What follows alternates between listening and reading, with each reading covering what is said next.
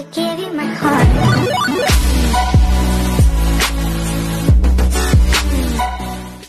stage weaponry. We got sinks here. I hope I'm seeing that correct. Oh boy, the dead eyes guys clinging to a utility. We got uh Yeta Y- Yetawuda uh holding off at the ready here just at the other end. He, oh, all he has is an MK12 to defend himself with. Luckily, his teammate Nova providing a little bit of overwatch with an AK47 and another teammate Claw holding position with that Scar L. Ooh, Precious with this uh, CQC Annihilator, a UMP 45. And look at this, Arabi M249 at the ready. That LMG could be the difference maker between life and death, especially in an early stage altercation where he could have a 75 to 150 round clip. Well, a personal favorite of mine, uh, and I'm sure that all the viewers are going to cringe when I say it, but I love the VSS. Unfortunately, I will say the VSS not the most ideal of snipers for Miramar, uh, especially not without an extended mag. When you can only have a 10 round clip in it, it's definitely not the ideal uh, choice for an early game altercation. But as we know, it's more so out of necessity than preference this early on. Well, Arabi holding position. He is just one floor below a member of the Deadeyes guys. Yeah, he's got Yetta just above him. And if he knew what sort of uh, weaponry Yetta was working with, I think Arabi would have made the push upwards by now. Yetta, uh, only with a MK12 in hand, he's going to have to single tap to defend himself here. Oh, Arabi fires away at Claw, but outnumbered, outmanned, outgunned, and it was easy pickings. That's going to leave Sharp as the only hope here. His only remaining teammate, uh, Sazid, is a way too far away to help, and even so, not a bullet to defend.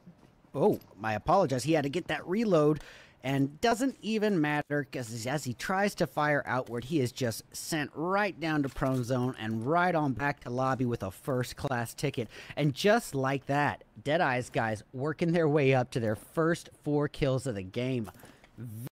Just below half health and with no first aids to speak of. All he has are two boosts.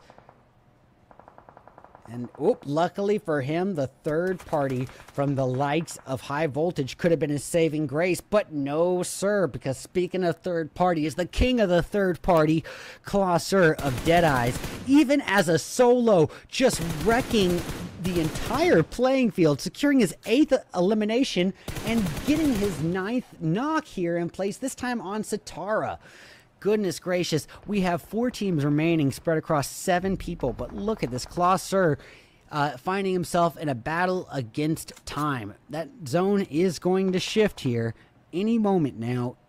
And now it's a battle of chance. And luckily for KlawSir, Pub Jesus has shined his blessings down upon him and granted him the favor of the final zone. That is his saving grace potentially. But look at this. D9 putting a monster nade out. And down goes XYN. All right. We got D9, the last remaining member for Viking Astad. And this could be it. Oh, the nade taking him down to 15% health. One more nade crashes down on him. It could be the difference maker between life and death. He's going to try to retaliate with some nades of his own, but no knocks from that one. And this is a tough one to be in. He's got nothing to met up with, and it was just easy pickings for HV, a shooting star. Well, speaking of stars, we got another clanmate of the Star Crew, this time Tabby of the opposition, firing away uh, at multiple members of High Voltage who just outnumber him. He still does get the takedown on Sujandai, but Tabby and Claw in a 1v1 scenario. This, we've got a 1v1v1. Three teams remain spread across three people. It's a fair fight to end round three. How fitting. Every man for himself. All right, as the Molotovs crash around Tabby, he says, I will not be your burning candle, but he chokes on his words as KlawSir, doing what he does, the utility god that he is, just makes it rain hellfire on him. And now we got a 1v1 to decide who wants the chicken dinner for round three the most. It's KlawSir versus Star, Deadeyes versus High Voltage. Let's get it. Sir getting some good damage on to start taking him down to just above half health and finishing the job.